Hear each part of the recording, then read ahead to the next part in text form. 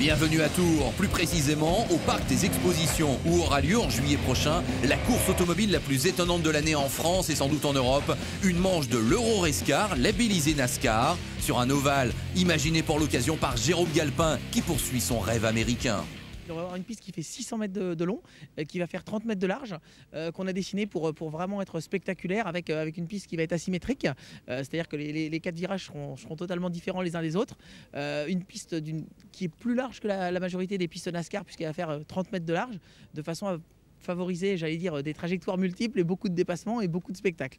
Euh, pour ce qui est du spectacle, il y en aura puisque euh, on sera sur un programme de 8 courses par jour avec un système euh, d'élimination directe puisqu'on passera par des demi-finales et des demi-finales finales. Donc il faudra, être présent. Ce sera des, courses qui feront, qui, feront, qui feront 30 et 50 tours pour les finales. Donc à mon avis, du, du grand, grand spectacle. Il va y avoir de la proximité entre les pilotes, 14 voitures sur la piste. Et ouais, l'idée, on va faire un peu de driver training avec eux pour, euh, leur montrer un petit peu. Et puis, on va mettre en place les, les, systèmes, qui sont utilisés en NASCAR. Ils vont avoir des spotters. Enfin, donc, on a, beaucoup de choses à leur apprendre dans les mois qui viennent. On va, laisser la première épreuve à, à Nogaro se dérouler. Et puis après, on va commencer à, faire des petites réunions techniques avec les pilotes, avec les, les, team managers. Mais euh, ils vont faire de la course américaine, ils vont faire les NASCAR.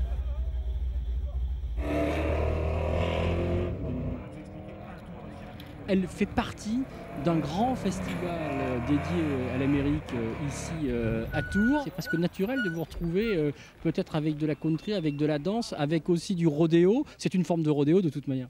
Oui, exactement. Je pense que le, concept avec, avec notre série Euroescar, c'était de ramener vraiment du spectacle avec, un, avec une compétition automobile qui soit faite pour les spectateurs et qui soit tournée vers les spectateurs. Et euh, jusqu'à là, ça nous a donné raison, puisque chaque année, on croise près de 200 000 spectateurs. Tours, ce sera certainement euh, le point d'orgue de notre saison, et ce sera surtout l'occasion, effectivement, de faire une grande fête avec près de 40 ou 50 000 spectateurs qui vont être présents, avec du rodéo, avec du country, avec des concerts de rock.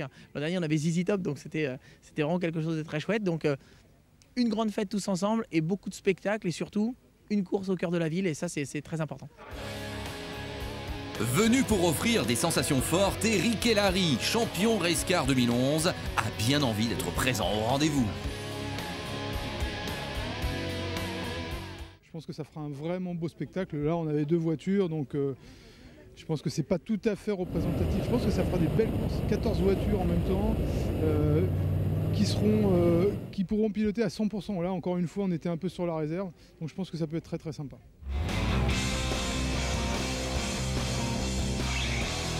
L'Euro Rescar à suivre tout au long de l'année sur Motors TV. Ouverture de la saison à Nogaro en avril et la manche de tour à ne pas manquer les 7 et 8 juillet prochains.